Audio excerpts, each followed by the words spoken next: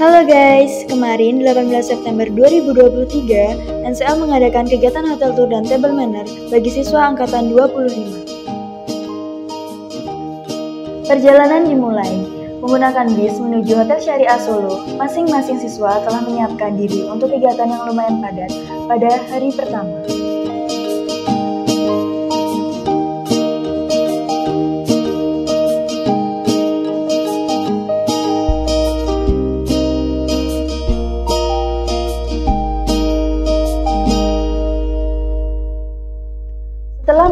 50 menit perjalanan, siswa NCL Madiun langsung disambut oleh staf Hotel Syariah Solo.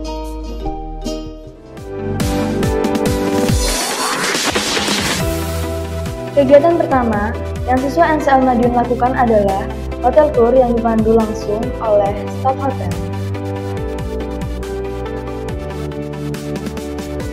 Selain belajar tentang fasilitas, para siswa juga dikenalkan tentang ruang kerja para staf hotel. Mereka belajar tentang front office, FB service, housekeeping, dan juga kitchen.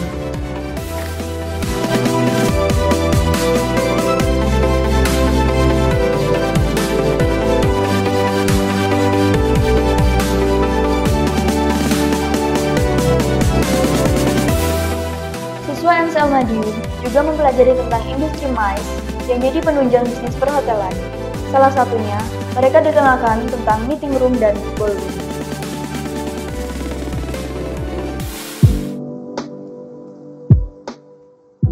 Setelah puas melaksanakan hotel tour, tiba saatnya siswa NCL Madiun mengikuti kegiatan table manner. Kegiatan ini dimaksudkan untuk mengenalkan para siswa tentang etika-etika dalam jamuan makan resmi.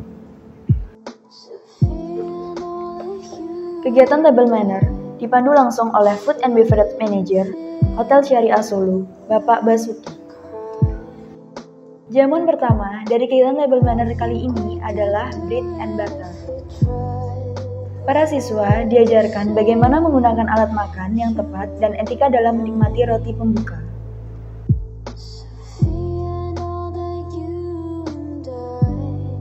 Jamuan kedua dari kegiatan table manner adalah appetizer. Kali ini, para siswa menikmati smoked beef salad.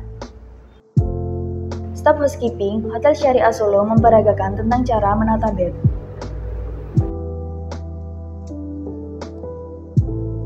Para siswa, khususnya yang akan mengambil Departemen Housekeeping, belajar tentang langkah-langkah yang harus dilakukan dalam menata kasur. Hidangan ketiga adalah mushroom cream soup. Hidangan ala western kali ini menjadi pengalaman baru para siswa dalam menikmati sup.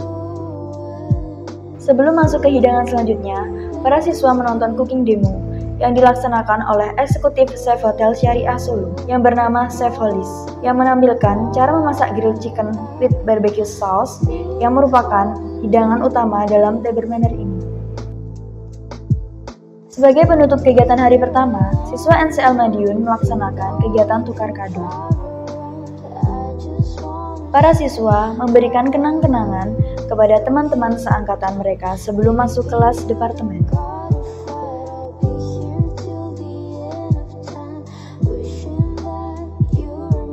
Setelah melepas lelah, para siswa beristirahat di Hotel Syariah Solo.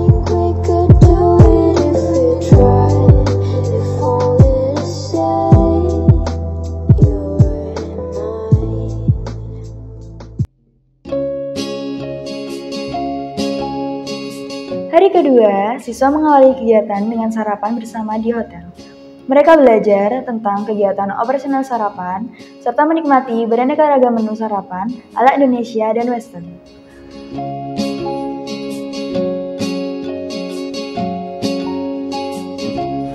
Halo NCL Lovers, perkenalkan nama saya Zia dari Mojokerto. Di NCL Madiun saya mengambil jurusan FB Product. Saya Taufik Hidayat, saya dari Jember, dan saya mengambil jurusan housekeeping. Saya Dion dari Batam, saya mengambil Departemen FB Service. Saya Dania dari Jembrana Bali mengambil jurusan Departemen Front Office.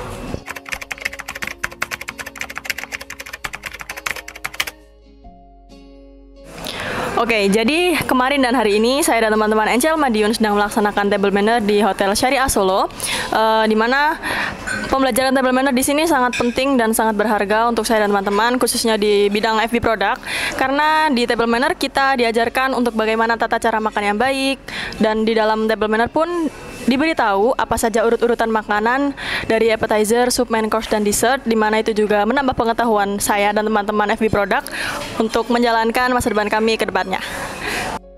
Hari ini dan kemarin kita mengikuti table manner angkatan ke-25 NCL Madiun di mana kemarin kita mengikuti room tour hotel. Kita mengenal jenis-jenis room di hotel, public area. Ini sangat membantu saya dan teman-teman di NCL Madiun untuk mengenal lebih dekat hotel di sini. Hari ini kami sedang breakfast di Syariah Hotel Solo dan semalam saya bersama teman-teman mengikuti kegiatan table manner. Di situ kami diajarin tata cara makan yang baik dan benar dan tata cara memegang peralatan makan yang baik dan benar. Ini sangat bermanfaat untuk karir saya ke depannya di mana saya mengambil departemen F&B service. Di kegiatan table manner hari ini, salah satu kegiatan yang saya ikuti adalah hotel tour, di mana saya belajar tentang jenis-jenis kamar dan fasilitas-fasilitas yang ada di hotel. Ini sangat bermanfaat buat saya yang mengambil departemen front office untuk mengenal apa itu hotel berbintang. Jadi buat kalian yang ingin menginap di hotel berbintang dan merasakan sensasi table manner, kalian wajib join di NCL Madiun karena ini salah satu kegiatan akademik dari NCL Madiun. Jadi gitu aja guys. See you.